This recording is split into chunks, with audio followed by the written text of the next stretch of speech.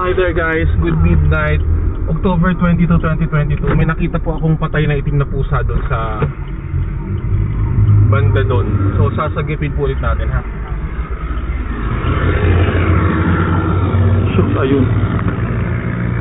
Guys, sana wag mo na masagasaan, my god. Oy, oh, oh, no, no, no, no. Huwag na sagasaan, please. Oh, awa, shucks. Naku, may salba ko sana to.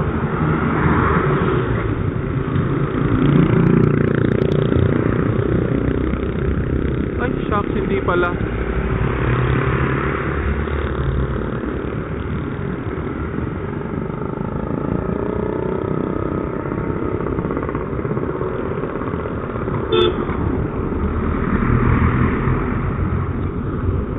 Guys, nawaw mali ako. Hindi pala siya pusa. For the second time around, nawaw mali na naman ako. Ano lang pala siya? Alam kasi, ang tingin ko, ang tingin ko kasi kanina pusa. Ano lang pala? Ah, tawag dyan.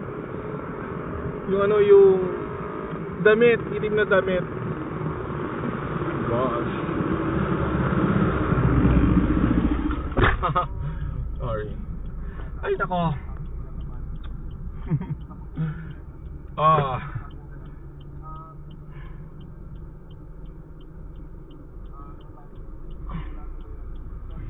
Hindi pala siya patay na pusa.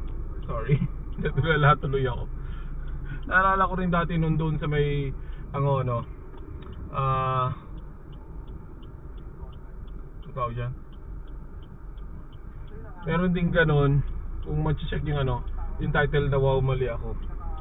Meron din ganun. Ay nako. Aloka. Kaya yun.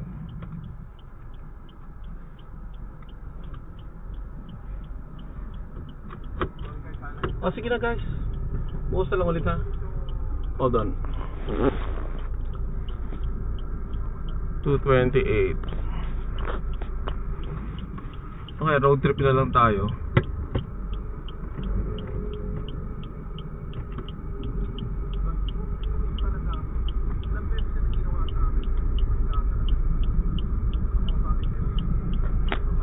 Bati na lang ako. Um, Happy midnight to each every one of you. Hold on guys ah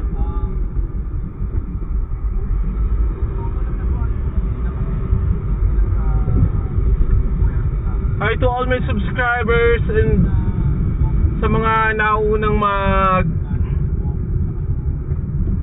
view ng mga daily uploads ko, maraming salamat po sa inyo.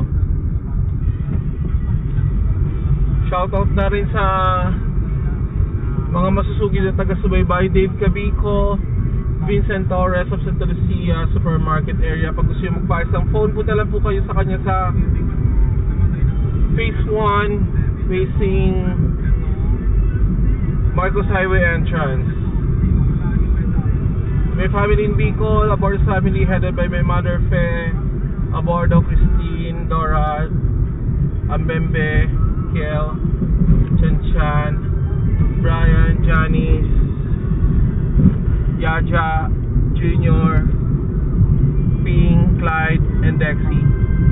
At sa iba pa mga taga San Roque High sa inyong dyan. Also, former Beauty Queen Ara Shulag of Alimol Cubao. Pag gusto yung bumili ng humidifier, punta lang kayo sa kanya sa ground floor Hepa na McDonald's.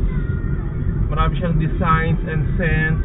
Meron din siyang 3 plus 1 or 4 plus 1 something na promo. So, check nyo po ha. Thank you, Ara, for your support. Ah, uh, ayun po. Sa, thank you po sa inyo lahat.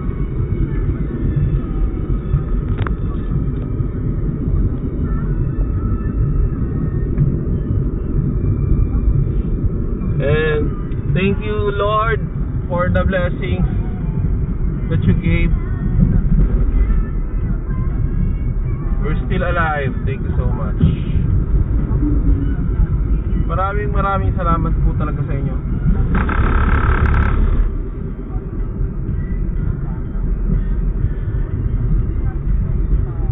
Okay. Thank you. Nakangawit ako. Bye for now. Maraming salamat po sa inyo lahat.